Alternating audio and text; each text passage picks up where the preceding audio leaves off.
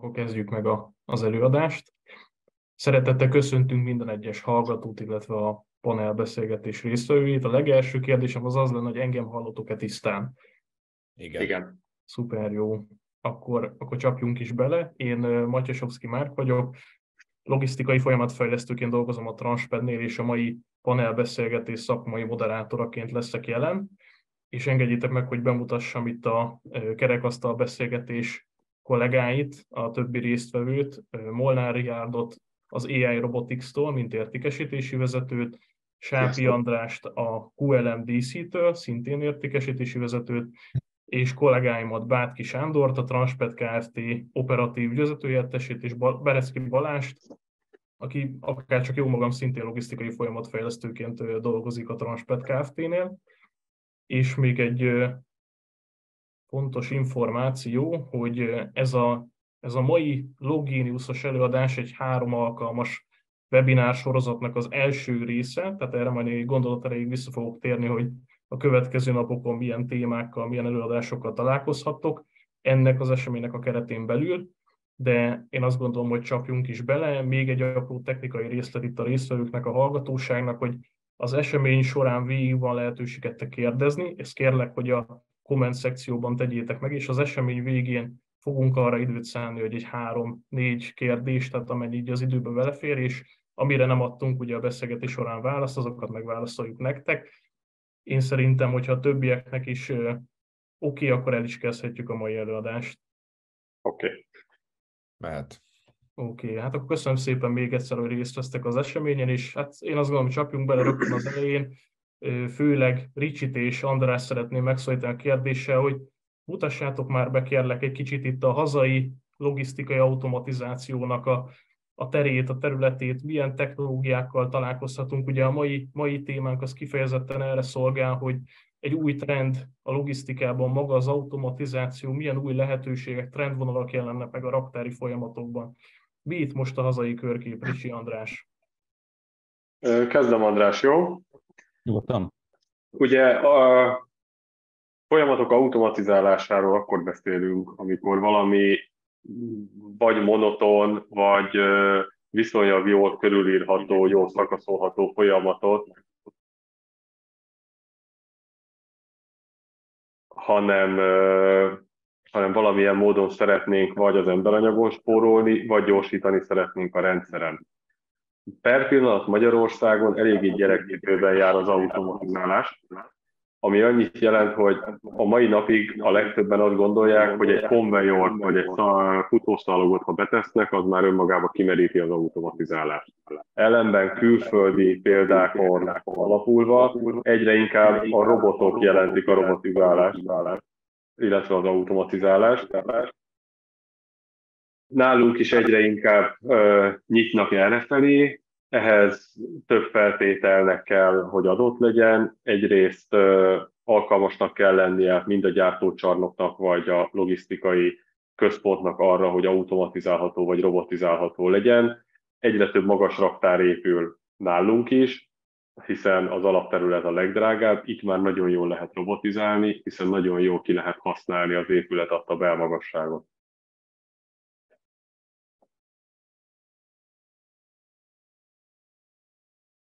András, le vagy némítva közben.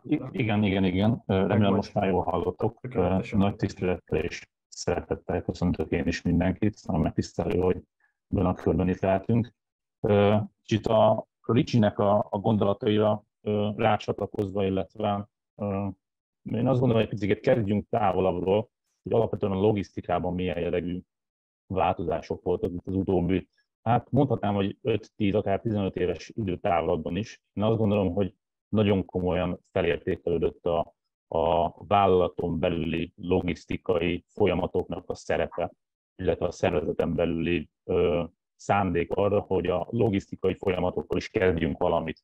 Ö, kezdjük a, a, minél inkább automatizálni, sőt, inkább távolabbra megyek, kezdjük a folyamatokat optimalizálni. A, az utóbbi időben nagyon erőteljesen megjelent már nem csak és kizárólag a gyártásban ismert lean szemléletek, hanem akár már a logisztikában is megjelenő lean szemléleteknek a, az alkalmazása és a magáévá tétele. És alapvetően a, a hazai automatizálási hajlandóság, illetve ha ezt egy picit a Ricsére vissza, visszalépek, akkor azt tudom mondani, hogy nagyon máshogy álltak a magyar tulajdonú cégek az automatizáláshoz tíz évvel ezelőtt. Nagyon nagy hajlandóság és szándék volt egyébként az automatizálásra már akkor is, viszont az, hogy ebből mennyi valósult meg, az nagyon-nagyon alacsony százalékomra tehető. És én azt gondolom, hogy az utóbbi években, hát ha lehet ezt így szabad mondani, hogy köszönhetően akár a Covid-nak is, ez az arány ez erőteljesen javuló tendenciában van, és egyre inkább azok a, az álmok, amiket eddig álmoknak hittek a, a cégek, egyre inkább már materializálódnak és testet öltenek szerencsére. Úgyhogy azt gondolom, hogy mindenféleképpen van helyünk, akár mint itt túl ennek, vagy akár bármilyen rendszerintegrátori feladatokkal, szerepkörrel foglalkozó cégnek az országban. Tehát nagyon, nagyon izgalmas és rettentő komoly változások vannak, én azt gondolom a logisztikában jelen pillanatban. És még az automatizálás egy, egy olyan gondolatot, hogy igen, ahogy a Ricsi is említette, hogy, hogy egy cég nagyon sokszor már, amikor szállítópályát vásárol, automatizál. És én azt gondolom, hogy az céges mértékben szabad ebből a szempontból ítéletet mondani, hogy kinek mi számít már automatizálásnak, ugye? A, nagyon sok esetben például egy raktárirányítási szoftver, egy VMS rendszer is egyfajta már automatizálás, amikor a folyamatokat mozzanat szinten tudjuk irányítani. Ez már nagyon-nagyon komoly segítségeket tud jelenteni a, a vállalatok számára. És így van, erre lehet felépíteni olyan különböző lépcsőfokokat, fokozatokat, amikor összetettebb szállítópályarendszerekről beszélgetünk, vezető nélküli eszközökről, targoncákról, AML jellegű roboteszközökről, vagy akár automatizált tárolási megoldásokról, tehát kifejezetten azokról az eszközökről, amikor pedig a, az áru jön már az emberhez, elvesz, képviseli. Szóljál mm. már, hogy esetleg de teljesen jókat mondasz, én, én, én, én nem győzöm hallgatni. E, igazából egy olyan technikai kérdés merült fel nálam kap, is, meg kaptunk egyébként itt az előadás megelőzően kérdéseket, hogy mi most jelen pillanatban a mesterséges intelligencia szerepe a logisztikai automatizálásban? Tehát mennyire van ez most jelen, mennyire lehet ezt most már kiaknázni? Erről mondjatok már még egy-két gondolatot így az elején, kérlek. Kicsi. Ö, mindenképpen a mesterséges intelligencia egyre nagyobb tert nyer, elsősorban a raktárokban, a termékek elhelyezésénél például. Tehát itt használnak úgynevezett olyan idegen szóval heatmappinget, ami egy mesterséges intelligencián alapul. Figyeli egyrészt a, a VMS-ből, illetve az ügyviteli rendszerből jövő adatokat, tehát látja azt, hogy melyikek a gyorsan forgó termékek, melyik a nagy volumenben forgó termékek, esetleg megfigyelhető a tonalitás.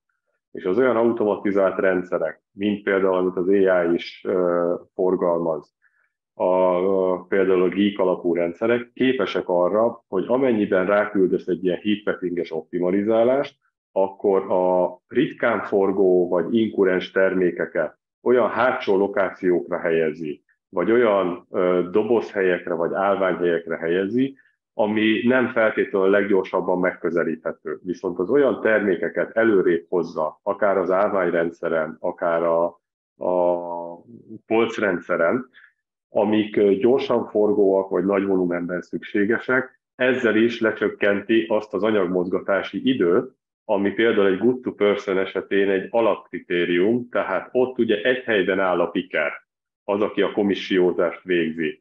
Nem ő rohangál körbe a raktárba és keresi meg a lokációkat, hanem egy robotrendszer, akár egy állványrendszerből, akár egy mozgó rekrendszerrel, kihozza neki a termékeket. Ilyenkor kulcsfontosságú az, hogy a robotok fölöslegesen ne menjenek sokat, fölöslegesen nem mozgassanak olyan tárhelyeket, amik mögött valóban szükséges termék van, de előtte inkurens termékek vannak. Tehát azt gondolom, hogy ez most per pillanat a legnagyobb AI-os innováció ebbe az optimalizálás terén. A lokáció optimalizás az abszolút ennek tekinthető ez már azért elég jól hangzik így a, így a jelenben, hogy ez, ez most már így megvalósítható, és ebben tudja segíteni ugye a raktári folyamatokat, és akkor most kicsit így Sanyi Valás hozzátok szólnék, hogy Itt az elmúlt percekben hallottátok a kínálati oldalt, és akkor most nézzük picit a keresletit, hogy milyen megoldásokra van ma szükség egy intralogisztikában, egy, egy raktár logisztikában, minek lehet értelme, vagy milyen folyamatot ért, van értelme automatizálni. Mit láttok ti ebben a témában?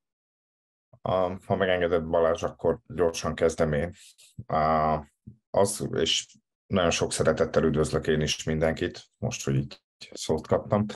Alapvetően én azt gondolom, hogy, hogy, hogy ez az automatizálás, meg, meg, meg robotizálás egy, egy picit ilyen, ilyen ilyen közhelyé tud válni, vagy ö, alapvetően, alapvetően ma, amikor, amikor ezzel a témával valaki akar foglalkozni, hogy de jó automatizálunk, de valójában én azt gondolom, hogy a, az első és legfontosabb ezzel kapcsolatban az az, hogy rendbe rakjuk tényleg a folyamatainkat, amire itt a, a kollégák is kitértek már.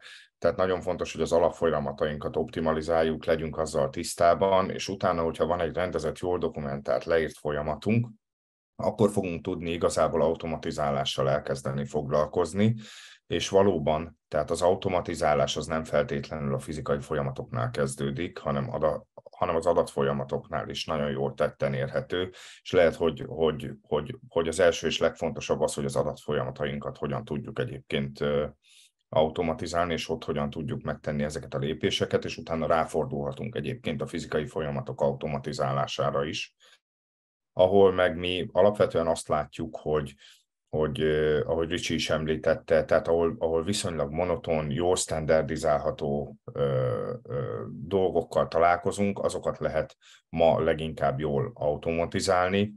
Ö, ez, ez lehet, lehet raklapoknak tárhelyre mozgatása, ez lehet A-ból B-be való hosszú távú nem túl értékteremtő tevékenység egy-egy nagyobb gyártóegységben, vagy, vagy, vagy akár raktárban, de, de lehet éppen a komissiózás folyamata, amit a, amit a robotizáció segít, segítségével is meg tudunk oldani, hiszen, hiszen az árut oda tudjuk hozni a kollégákhoz, és kevesebbet kell sétálnia annak a munkavállalónak, aki, aki éppen a komissiózási feladatot végzi, és lényegesen alacsonyabb létszámmal tudjuk ezt megvalósítani, itt nyilván nagyon fontos szerintem két tényezőt figyelembe venni.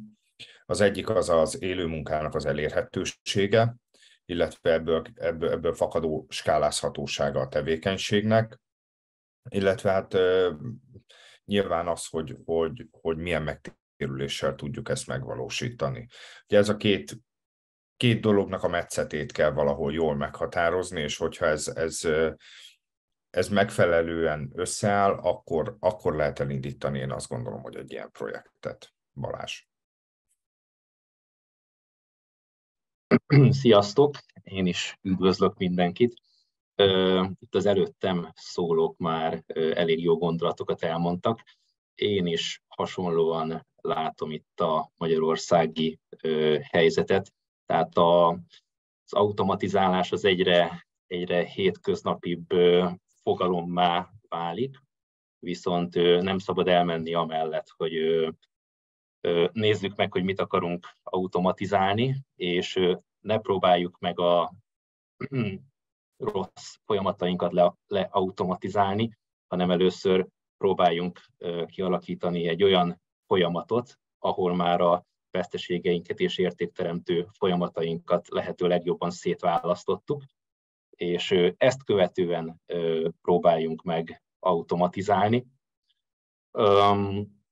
Ugye az automatizálásnak több módja van, lehet digitális és fizikai is. A digitális automatizálást, melynek eszköze lehet mondjuk a VMS rendszer, megelőző karbantartás, flotta menedzsment rendszer, stb. stb. Azt, azt most egy kicsit talán úgy, úgy vettem észre, hogy nem nem feltétlenül sorolják be ebbe a halmazba, viszont ami fizikai automatizálás, az sokkal inkább automatizálásként értik a hétköznapi szóhasználat szerint is. Én azt mondanám még, hogy ha automatizálásról van szó, akkor el tudunk különíteni jó néhány fő folyamatot, amit tudunk automatizálni. Beszélhetünk itt a komissiózásról, csomagolásról, szortírozásról, ugye, és ezeket a, ezeket a folyamatokat meg lehet támogatni mind digitális, mind fizikai automatizálási rendszerekkel. Most a, a legfőbb trendek azok azt mutatják, hogy az automatizálás fő irányai az a mesterséges intelligencia, a Goose-to-Person rendszerek, az ASRS rendszerek, de ugyanúgy az AGV-k, AMR-ek is ide sorolhatók, és vannak még rengeteg egyéb eszközök, akár gondolok itt arra, hogy ilyen hordozható eszközök, tehát voice speaking, vagy bármilyen kézrehúzható kesztyűk, melyekkel járműveket tudunk vezérelni komissiózás közben. Tehát nagyon-nagyon szerteágazó, és ha automatizálásba akarunk gondolkodni, egy nagyon-nagyon széles beszállítói termék portfólióból tudunk szemezgetni. Na most így dióhéjban ennyit, így az elején. Köszönöm szépen nektek. Megközelítettük most inkább a folyamatok, meg az automatizálási technológiák, elérhető technikák oldaláról most ezt a témakör, de egy kicsit én átkanyarodnék abba az irányba, hogy nézzük ezt a vállalatok oldaláról. Tehát ha mondjuk egy gyártó meg egy szolgáltató céget akarnánk megkülönböztetni, vagy legalábbis így feltenni most el az összehasonlításra, akkor ugye mondhatjuk, hogy a Transped egy abszolút egy, egy logisztikai szolgáltató, tehát komplex logisztikai szolgáltatásokat nyújt a partnerei számára, de milyen különbségeket véltek felfedezni annak függvényében, hogy egy gyártó vagy egy, egy szolgáltató cég szeretné a logisztikáját automatizálni? Milyen szempontokat kell figyelembe venni egyik, illetve másik cégnek? Lehet-e egyáltalán ilyen éles ellentétet megfogalmazni kettejük működésénél? Ezt egy picit így mindenkinek tenném, feltenném ezt a kérdést, mert kíváncsi lennék, hogy itt szolgáltatói oldalról mik a szempontok, itt a kollégák mit látnak fontosnak, kiemelendőnek, illetve integrátori oldalról, hogy majd Ricsi András, ti hogy látjátok a partnereiteknél ezt. Szerintem kezdhetjük most úgy, hogy Sanyi Balázs, ti hmm. gyorsan itt elszám, beszámoljátok a véleményeteket. A, az első és legfontosabb talán az, hogy, hogy, hogy alapvetően, amikor logisztikai folyamatot akarunk optimalizálni, vagy bármilyen folyamatot, az teljesen mindegy, hogy egy szolgáltató, vagy éppen egy, egy gyártócég esetében van. Szerintem a legfontosabb, tényleg, amit az előbb is elmondtam, hogy jól optimalizált folyamatok kidolgozása, megléte esetén kezdjünk el magával az automatizációval foglalkozni, ragadjuk meg adatoldalról a témát, ez, ez mindenkire nézve nagyjából ugyanaz, Szerintem ebben nincsenek nagy különbségek. A fizikai folyamatok tekintetében sem szükségszerű, hogy nagy különbségek legyenek. Alapvetően nagyon hasonló fizikai folyamatokat kell lekezelni egy, egy szolgáltatónak, vagy éppen egy, egy termelő eh, vállalatnak. Talán a könnyebbséget az jelenti egyébként a, egy, egy termelő, vagy, vagy akár egy kereskedő cég esetében, hogy ők viszonylag jó sztenderdekkel tudnak dolgozni. Ők pontosan ismerik azokat a termékeket, amik mindig ugyanúgy néznek ki, amiket ők valamilyen automatizált folyamat mentén akarnak lekezelni, míg egy szolgáltató esetében ez rendkívüli módon és dinamikusan változhat. Ma ezt kell, holnap azt kell.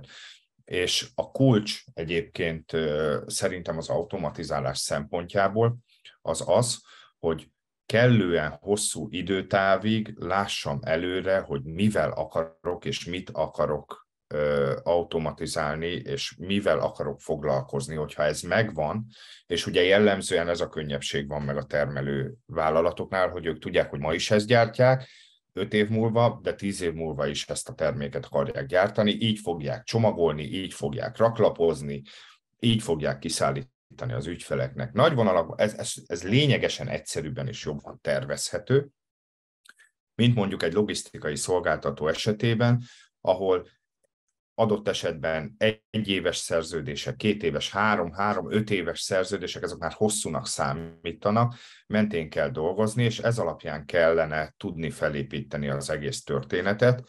Ergo egy szolgáltató az adott esetben lehet, hogy rövidebb megtérülési idővel kénytelen számolni, míg egy, egy, egy termelő vállalat az akár egy tíz éves idő ciklusra is elhúzhatja ezt a, ezt a történetet. Úgyhogy én azt gondolom, hogy a legnagyobb különbség az az, hogy, hogy egy, egy, egy termelő vagy, vagy árualappal rendelkező ügyfél viszonylag jól látja előre hosszú távra a sztenderdjeit, míg egy logisztikai szolgáltatónál azzal a problémakörrel kell az automatizáció irányába menni, hogy hogyan tudjuk ezt adott esetben dinamikusan változtatni.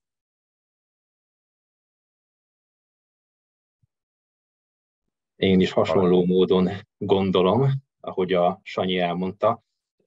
Szerintem is a gyártóvállalatok azok könnyebb helyzetben vannak, abból a szempontból főként, hogy ők nagyon nagy volumeneket kezelnek le, nagy volumenekre automatizálnak.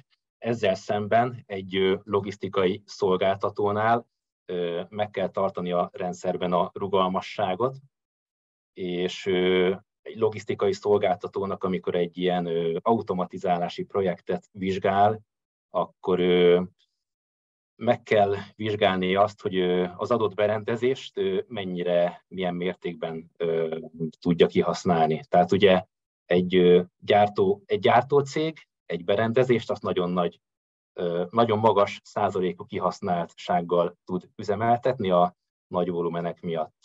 Viszont ugye, ahogy a Sanyi is mondta, logisztikai szolgáltatók abból a szempontból nehezebb helyzetben vannak, hogy nagyon sokféle termék kezelését kell megoldaniuk, és bizony a, a szerződéses időtartamok azok most nagyon rövidek, tehát hogy ha már egy ügyfél két-három évre aláír, az már ma már majd, hogy nem hosszú időtartamnak számít, és szerintem egyébként pont abban van az a kulcskérdés az automatizációnak, hogy ha beruházunk egy automata rendszerbe, akkor azt milyen kihasználtsággal tudjuk üzemeltetni.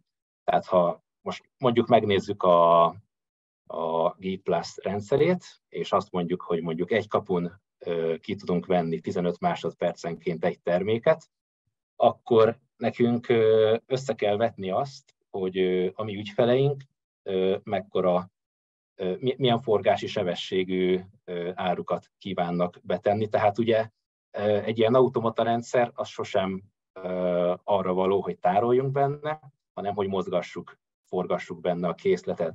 És talán ez az egyik legfontosabb kérdés, amit meg kell vizsgálni, mielőtt automatizálás projektet indítunk. Nagyon jókat mondtatok. András Ricsi, nektek, mint integrátorok, ilyen rendszerek forgalmazói, mik a tapasztalatotok ebben a témában? Akár partnerek bontásában, hol szokott gyakrabban felmerülni az, az igény ilyen típusú cégnél, hogy automatizálni szeretnék a logisztikájukat. Mit tudtok ezzel kapcsolatban? Igazából Balázs nagyon jó gondolatmenetet indított el azzal, hogy a szolgáltatókat a akik tényleg független logisztikai szolgáltatást nyújtanak, és az olyan gyártó-termelő cégek, akik a saját maguk logisztikáját oldják meg, a legnagyobb különbség az, hogy egy szolgáltató esetében nem tudunk exakt adatokat. Tehát vegyük például a Transped rendszerét, ahol ugye mi telepítettük nektek ezt a geekes rendszert. A tervezésnél kettő nagy ö, halmazt kell összegyűjtenünk. Az egyik, az a tárolt áruk köbmétere, hogy me- mekkora áru mennyiséget szeretnénk ezekbe az állványrendszerekbe tárolni, illetve milyen polcosztással szeretnénk ezeket tárolni.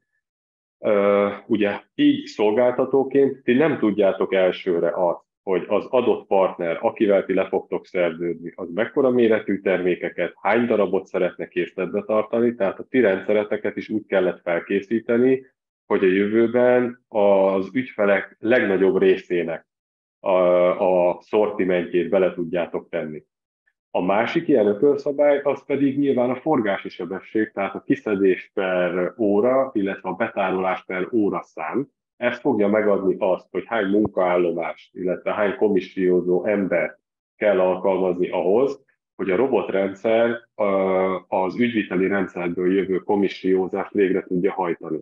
Szintén egy gyártó-termelő cég esetében viszonylag előre tervezett adatokból dolgozik, tudja azt, hogy mennyi alapagyaga fog beérkezni, ebből mennyi félkész vagy kész terméke fog keletkezni, azt meddig kell neki betárolni. A ti esetetekben és minden fulfillmenttel foglalkozó logisztikai cég esetében egy maximális kapacitásra tervezünk, ezt nevezzük úgynevezett peaknek, és erre tervezzük meg a rendszer teljes teljesítményét, és utána jön a ti feladatotok ahhoz, hogy feltöltsétek tartalommal, ügyfelekkel ezt a rendszert, hogy tényleg maximálisan ki tudjátok használni. Viszont ebből fakadóan nagyon nehéz exakt megtérülést is számítani az ilyen rendszerekbe, hiszen van egy, egy elvárt megtérülésetek, és hozzá társul egy elvárt ügyfélállomány. Mi az elvárt kiszedés számot garantáljuk, nektek kell hozzátenni az elvárt ügyfélszámot ahhoz, hogy ez a megtérülés valóban viszonylag jól kalkulálható legyen. Gyártó-termelő cég esetében a múltbeli tapasztalatok alapján sokkal egyszerűbben és könnyebben számolható ez. Nekem itt a, az a gondolat tudott eszembe, hogy nagyon sokszor hallottam már bél, bérlogisztikai cégeknél, hogy majd a, sőt nagyon sok cégnél hallottam, majd a raktár megoldja címszót a problémákat, és én azt gondolom, ez halmozottan igaz ugye a, a bérlogisztikai, komplex logisztikai szolgáltatásokat nyújtó vállalkozások számára. Tehát igaz ez a kijelentés. És itt ebből igazából a, a, a nagy rugalmasság, ami én azt gondolom, hogy leginkább kell tudni biztosítani, és ezzel talán mindegyik előttem hozzászólónak a, a véleményére rá tudok erősíteni. És én azt gondolom, ezt a, ezt a nagy rugalmasságot abszolút a piaci igények szülik, tehát azok a partnerek, akiknek akár a Transped raktároz, vagy akár azok a partnerek, ahol a, a mi szoftvereinket használják, napi szinten látom azt, hogy, hogy a tegnap még 18 cég, már ma 19, azt követően már csak 17, és teljesen kiszámíthatatlanok azok a, a szerződéskötési időszakok, amit a Balázs is említett, hogy meddig fogunk raktározni az adott partner számára, és az adott partnernek mi az a termékköre, amire a, a technológiámat, a folyamataimat fel kell építeni. Én azt gondolom, hogy ezt a rugalmasságot minden esetben, mivel ez az előnye a biologisztikai cégeknek, ezt be kell tudni építeni akár a szoftverbe, akár a, az éppen megépülő, megvalósuló automatizálási megoldásokba. Kompromisszumokat kell tudnunk kötni, én azt gondolom minden oldalon. Az egész, az egész beruházás, az egész játék mondhatni erről szól, hogy meg tudjuk húzni a, a határokat, és én azt gondolom, hogy vannak azok a, a méretű komplex logisztikai szolgáltatók, akik, ha le is tették már a voksukat egy valamilyen automatizálási megoldás alatt, és itt lehet akár ez egy komissiózást támogató megoldás, ugye az apró cikkes termékek kiszolgálását hivatott kiszolgálni, vagy lehet az akár egy egész raklapos magas raktári felrakógépes automata rendszer, ahol kifejezetten ugye a, a nagy volumenű, nagy ö, raklapos mozgásokat ö, ö, hivatott kiszolgálni a, a rendszer, és ha vagy egyik, vagy másik mellett is szól majd a, az ámen, én azt gondolom, hogy azzal egyértelműen üzleti utat is kijelöl a, a vállalat a jövőjét tekintve. Tehát azt mondja, hogy jöhetsz hozzám, gyere hozzám, ilyen és ilyen termékportfólióval kvázi picikét beszűkíteni a, a, a fogadásra alkalmas partnereknek a lehetséges körét, raklap méretben, forgási számban és így tovább. Viszont az automatizálás egy olyan biztonságot fog tudni neki a kiszolgálás oldalon garantálni, ami én azt gondolom, hogy nehezen versenyeztethető egy, egy kontra egy manuális raktárral szemben. Köszönöm mindenkinek a választ. Egy picit igazából én azt éreztem itt a, a válaszok során, hogy ha bár azért tegyük hozzá, hogy a másik félnek, tehát a gyártócégnek is egy ilyen komplexitású projektet hasonlóan nehéz bevezetni a saját logisztikájába, a saját raktárába, de hogy egy fokkal, mint hogyha egy szolgáltató cégnek mégis ez egy nehezebb, bonyolult a feladat lenne. Viszont azért, ahogy hallottuk, itt mondtátok ti is, kollégák is, Ricsi is, itt a kedves nézők is biztos hallották, értesültek már róla, hogy a Transpednek is van intralogisztikai automatizált megoldása ugye raktárában, raktáraiban.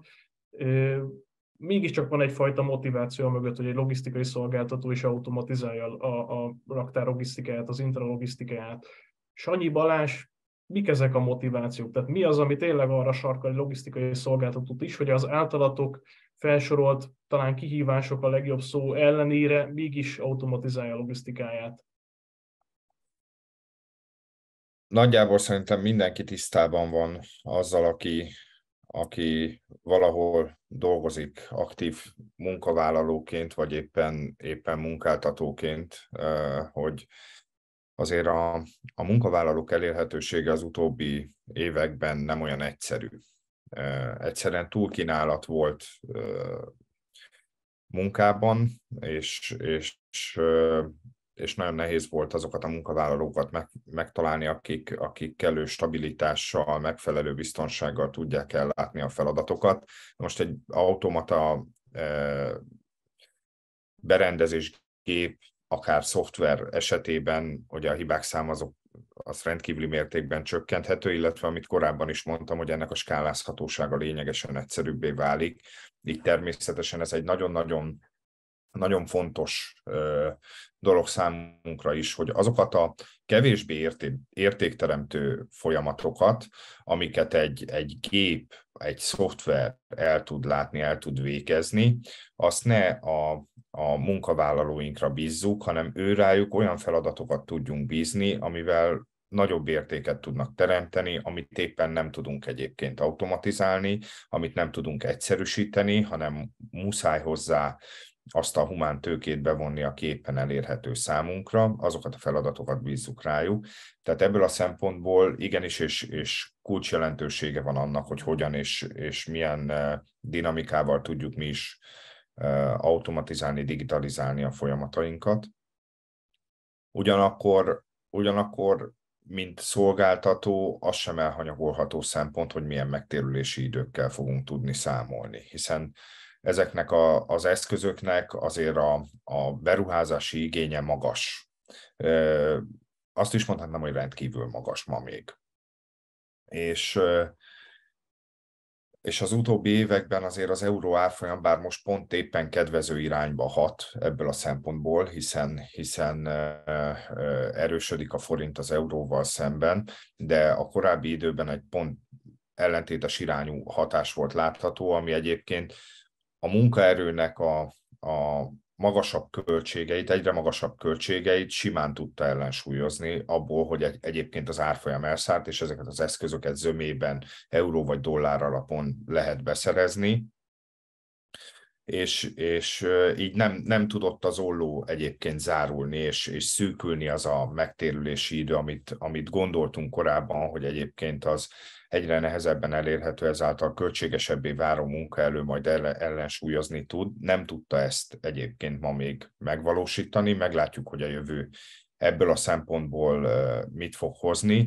Viszont maga az, hogy, hogy tényleg stabilan, folyamatosan tudjunk kiszolgálni, ahhoz elengedhetetlen az, hogy, hogy abban a mértékben, amiben éppen a lehetőségeink adják, de automatizáljunk és digitalizáljunk. Balázs?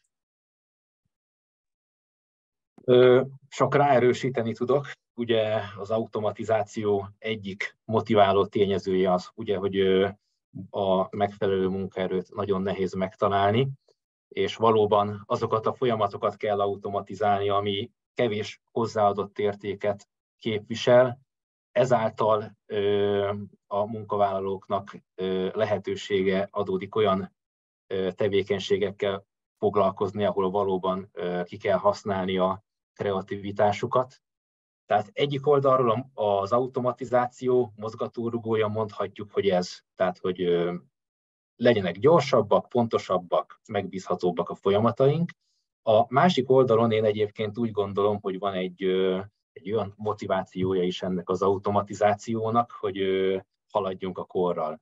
Tehát, hogy ez az elkereskedelem ez azért egy viszonylag új terület még itt a logisztikában, viszont aki most nem indul el ebben a, ebben a szegmensben, és nem, nem kezdi el ezeket az automata megoldásokat implementálni a saját gyakorlatában, az, az egy idő után el fog maradni. Tehát ugye a Transped is a lehető legjobbkor szállt be ebbe az elkereskedelembe, és, és valóban most, most van annak a, az ideje, hogy a lehető legtöbb tapasztalatot gyűjtsük, és ez, ez később, ez később duplán megtérül majd, véleményem szerint. És kérdés volt az is már, hogy most milyen egyéb automatizálás van. Hát egy, egy első körben én azt gondolom, hogy megválaszoltátok, tehát amit én, én, én tett, feltettem kérdésre, abszolút jó válaszokat adtatok, teljesen relevánsakat, és egy picit itt át is vezetném a gondolataitokat abba az irányba, hogy ugye megjelent itt a megtérülés, az nagyon sok mindenkit érdekel, aki ma automatizálásban, automatizációban gondolkodik, hogy milyen megtérülésekkel számolhat, mik, miken múlik, milyen tényezőkön múlik, hogy egy, egy adott rendszer megtérül az adott időn belül, vagy sem? Mi most ebben, tehát hogy alapvetően van egy olyan szempontunk, amit nagyon jól összefoglaltatok, elmondhatok, hogy van egy, egy munkaerő felé való kitettsége ezeknek a cégeknek, ami, ami abszolút arra hajtja a, a cégeknek a, a malmára, tehát a, a, arra hajtja a vizet, hogy, hogy, hogy beruházni ilyen, investálni ilyen rendszerekbe. De van egy másik oldal, a megtérülés milyen megtérülési időkkel kell számolni egy ilyen rendszer esetén? Mik a ti elvárásaitok, meglátásaitok, és mi múlik az, hogy egy ilyen rendszer megtérüljön az elvárt időn belül? Én itt egy kicsit most átpasszolnám a, a, a rendszer szállítók és integrátorok felé a labdát, és utána majd visszatérnék én is rá. Jó, akkor átvettem a labdát, ha már átpasszoltad. Alapvetően a megtérülés az minden rendszer megvalósításának egy elég sarkalatos kérdése. Ugye, ahogy előttem is mondtátok, maga az egész automatizálás, robotizálást, ennek az egyik legnagyobb katalizátora talán a COVID volt, ami rámutatott arra, hogy mennyire sérülékeny a munkaerő, a teljes humán erőforrás. Ezt követően pedig jött az energiaválság, vele párhuzamosan az infláció, növekvő bérigények, növekvő energiaköltségek. Amikor mi automatizálunk és egy robotrendszer tervezünk meg az ügyfélnek, akkor több aspektusból figyeljük azt, hogy milyen megtérülési lehetőségek vannak. Egyrészt automatizálás vagy robotizált komissiózásnál nagyjából egy negyed emberanyagra van szükség ugyanahhoz a feladatnak az elvégzésére, mint ezt egy hagyományos komissiózás esetén. Tehát itt egyrészt már felszabadul egy jelentős bértömeg, illetve egy jelentős emberanyag. A másik ilyen az az energiaköltség. Ugye amíg egy hagyományos komissiózás zajlik, addig neked a raktárba például teljes kivilágítottságra van szükséged, hiszen több szabvány is megköveteli azt, hogy 80 centi magason neked hány lumen fényerőt kell ahhoz biztosítani, hogy ezt a, az adott komissiózó ember a feladatát el tudja látni.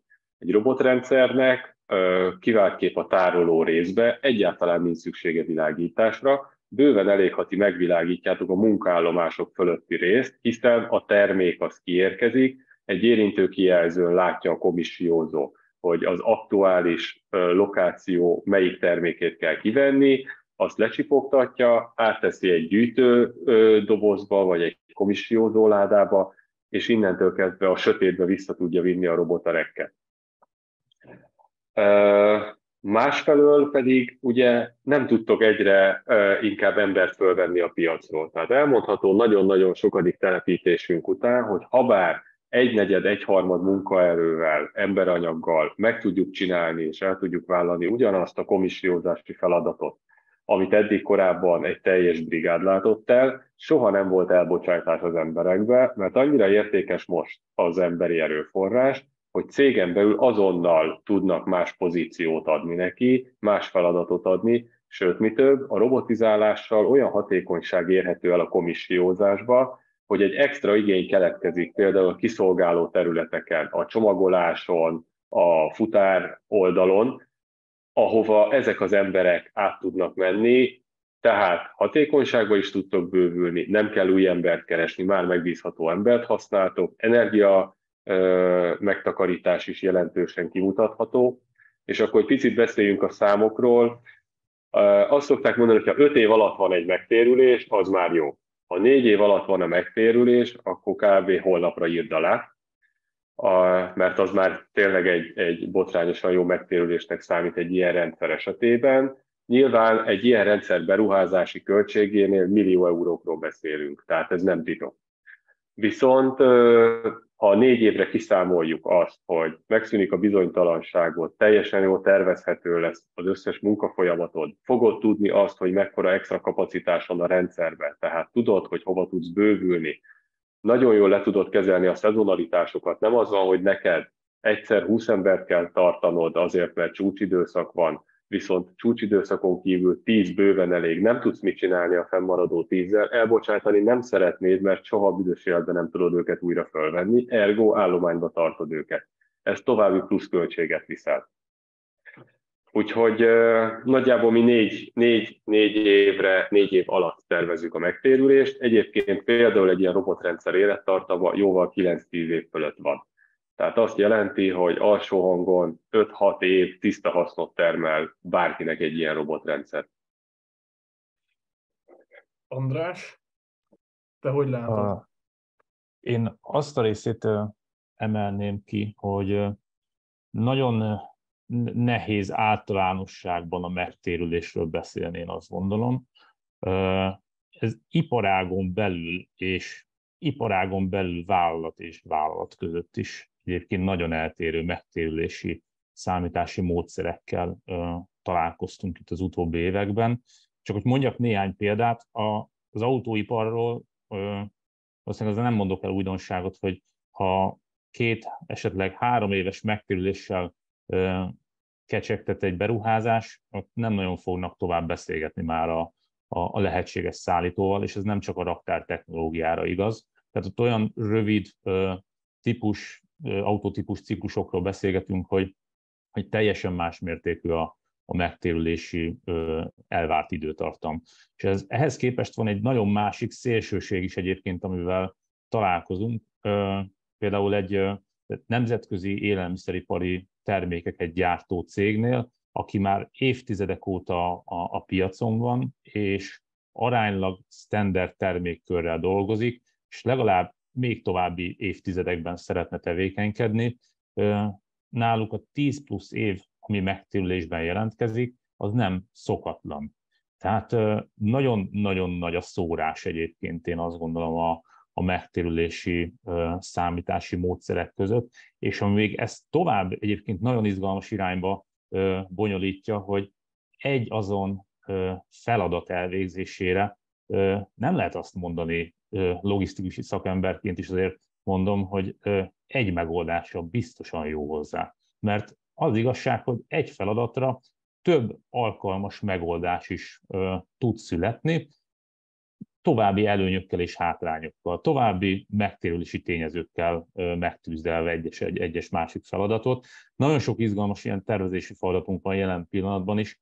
Hát nem ritka az, amikor a, a partnerrel kb. 40-50 tényezőt, objektív tényezőt vizsgálunk, ami mérhető, hogy hogyan fog ez a rendszer, és mikorra fog ez körülbelül megtérülni.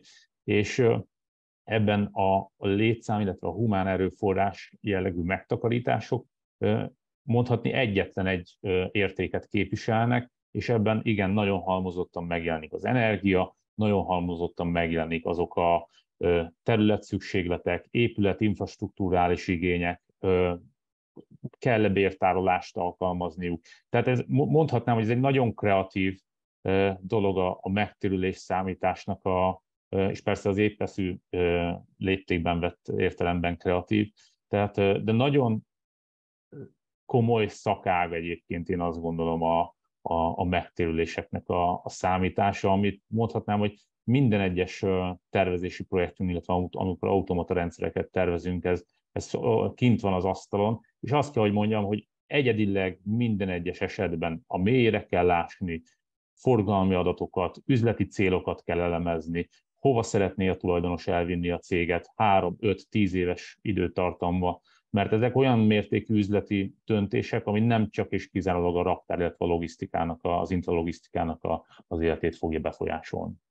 Nagyon jókat mondtok, és picit én egyébként így úgy is csoportosítottam magamban itt a Ricsi, illetve az általad elmondottakat, hogy picit lehet ilyen hard, meg softabb részét venni ennek a megtérülésnek. Ugye kifejezetten a hard, a technikai része az elektromos áram, tehát ami, ami egy adottság, amit fizikailag megtakarítasz, a soft része pedig az, amit te magad, mint vállalat, akár a, a belső folyamataid átalakításával, akár, akár tényleg a munkaerődnek az olyan, tehát erre a technológiára való kiképzésvel, jobb, jobb is megismerésével tudod alakítani azt, azt az oldalt. És igazából ezt szeretném kérdezni itt a kollégáktól, Sanyitól, Balástól, hogy egy picit ezeket a soft tényezőket ki tudnátok-e bontani? Tehát ti, mint vállalat, Transpert, hogyan tudjátok ezt a megtérülést, ezt, ezt, ezt jobbá tenni, ezt egy picit egy közelebbi időtávra elhozni? Milyen folyamati átalakításokkal, egyebekkel? Elég nehezeket kérdezel, de uh, talán először hagyj kezdjem ott, hogy, hogy, hogy valóban az van, hogy a megtérülési idő az, az egy dinamikusan változó szám lesz. Tetszik, nem tetszik, ezt nem lehet lefixálni az elején. Amikor azt mondjuk, hogy az elején lehet, hogy elvégzünk egy számítást, hogy nagyjából akkor ez most legyen öt év, öt év alatt megtérül, és utána bármi közbe jön, mégsem úgy alakulnak a számok, mégsem úgy alakul a forgalom, mégsem minden egy az ideális állapotnak megfelelően történik, ami szerint mi egyébként számoltunk. Ami akkor valószínű meg... is, ami valószínű is. Ami, ami meg valószínű igen, is, így van. Így van. Ebben az esetben ugye ez a megtérülési idő elkezd, elkezd változni. Nagyon, nagyon, tényleg nagyon sok mindenen, mindenen múlhat ez a dolog, és, és ahogy egyébként mondtad, és akkor rákanyarodok ezekre a softabb uh, részekre, tehát valóban az van, hogy, hogy, hogy amellett egyébként, hogy a munkaerőből adódó költségek, meg a, a tényleg jól számítható költségek azok, azok adottak, Egyébként van egy csomó HR költség, amit, amit megint meg lehet spórolni, mert nem kell recruitmenttel foglalkozni, nem kell egyéb dolgokkal foglalkozni, tehát egy, egy csomó olyan, olyan rejtett költség megtakarítás jöhet egyébként be ebbe a történetbe, ami az elején nem látható, és viszont, viszont ha, ha nagyon akarjuk egyébként, akkor ezek is számszerűsíthetők, arról meg nem is beszélve, és az egyik talán legfontosabb része ennek a történetnek az, hogy egy stabil minőséget kapsz.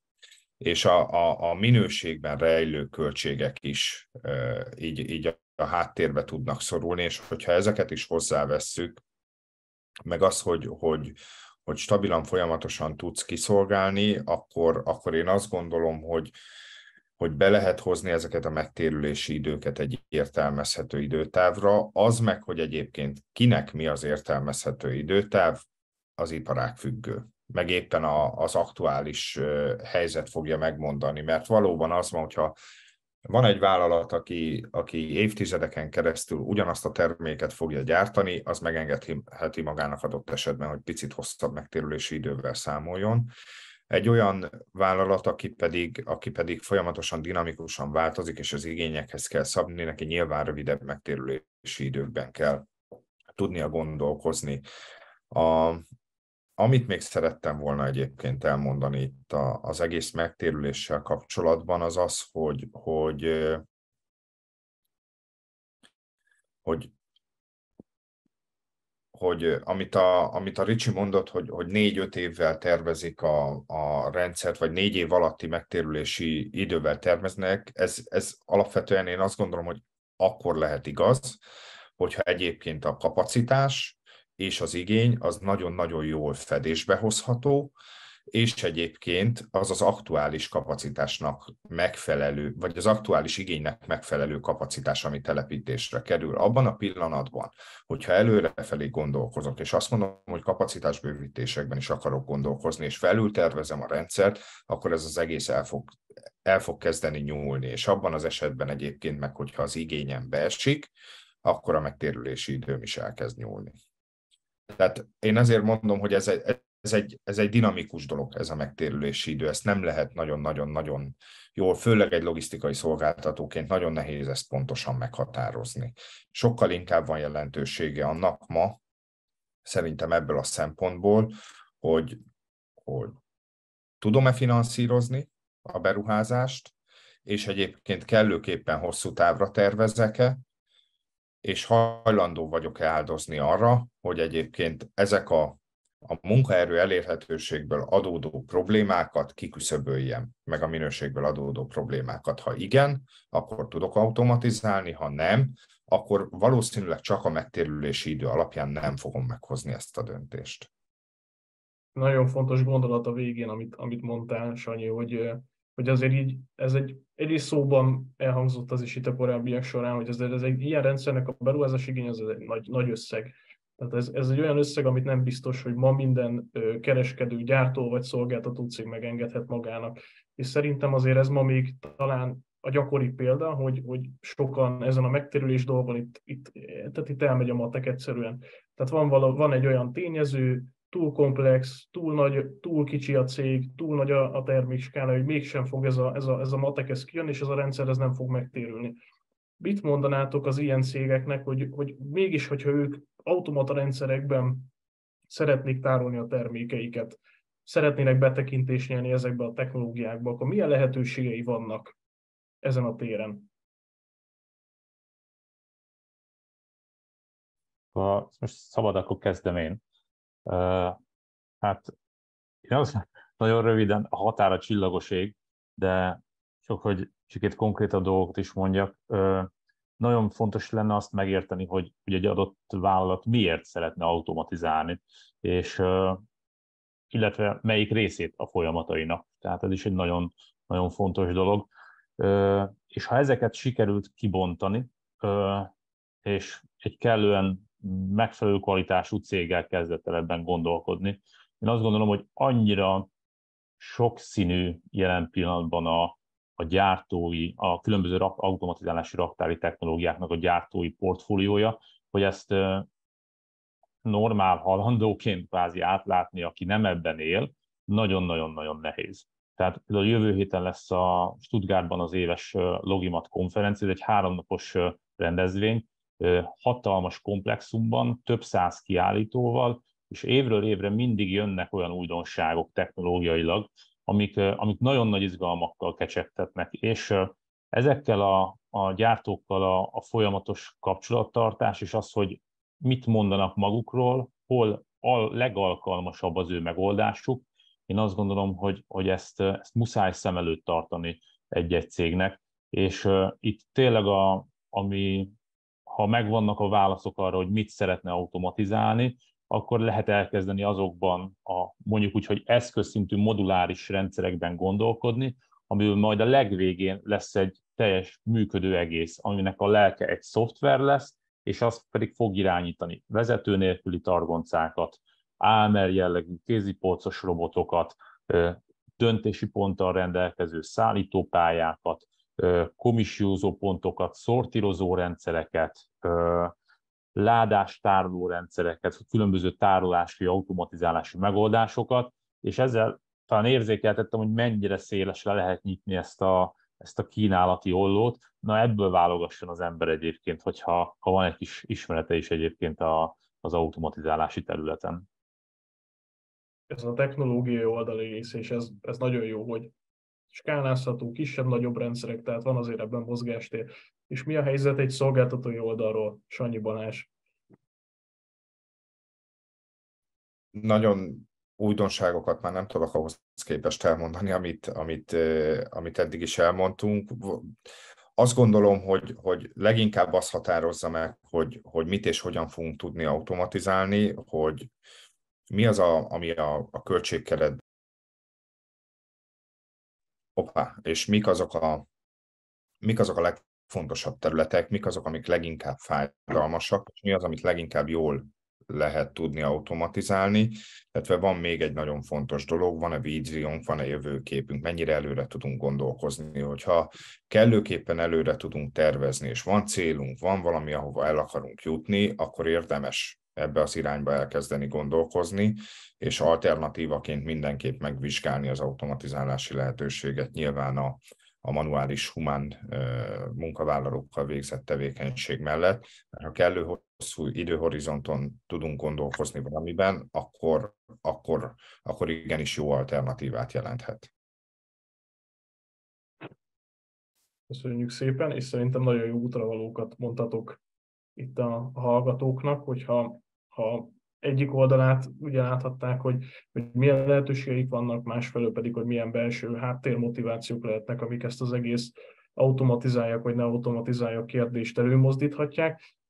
Mi lassan egyébként az időnknek a végéhez érkeztünk, tehát én közben itt már az utolsó percekben elkezdtem nézni, hogy érkezett a kérdés a, Q&A szekcióba, de én nem látok egyébként beérkezett kérdést. Nagyon remélem, hogy az előzetesebbek küldött kérdésekre sikerült választ adnunk, sikerült a, a kollégáknak választ adni, de természetesen, hogyha bárkiben felmerül még további kérdés, akkor azt megköszönjük, hogyha továbbítjátok nekünk a kommunikáció kukactrans.pet.hu e-mail címre, és itt a kommunikációs kollégák el fogják osztani a kérdéseket. Természetesen, hogyha direktbe szeretnétek valakit megcímezni, direktbe résztvevőnek címeznétek a kérdést, akkor ezt is írjátok bele, és akkor könnyebb lesz eljutatni hozzá.